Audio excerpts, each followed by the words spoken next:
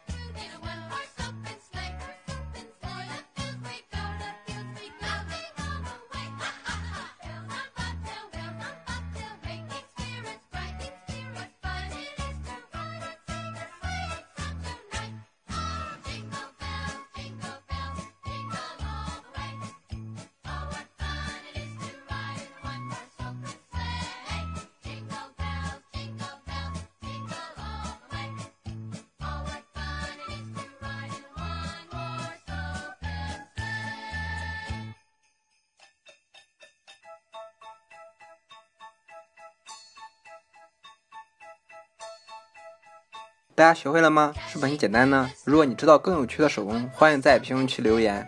小将也期待大家做好后分享出自己的手工作品，我会在今后的视频中晒出小伙伴们的优秀作品。好的，小伙伴们，我们下期见。